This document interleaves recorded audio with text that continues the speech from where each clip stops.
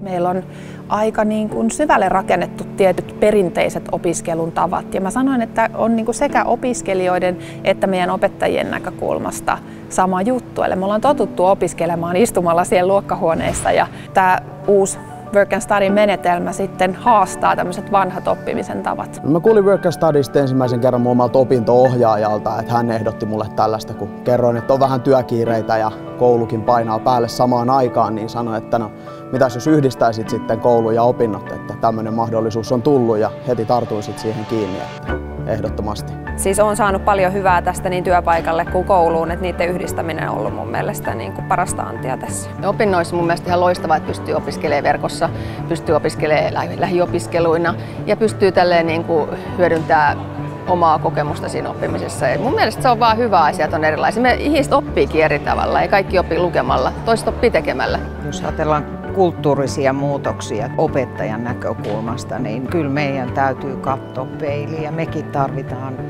tavallaan sitä ajattelutavan muutosta, että miten tulevaisuudessa, niin musta tuntuu, että tämmöinen toiminta lisääntyy. Mä näen kyllä, että jos me halutaan olla kilpailussa mukana ja me halutaan, että meille tulee opiskelijoita, mä en näe mitään muuta vaihtoehtoa, kun meidän täytyy niin miettiä sitä, että miten muutenkin voidaan oppia kuin täällähän seinien sisällä.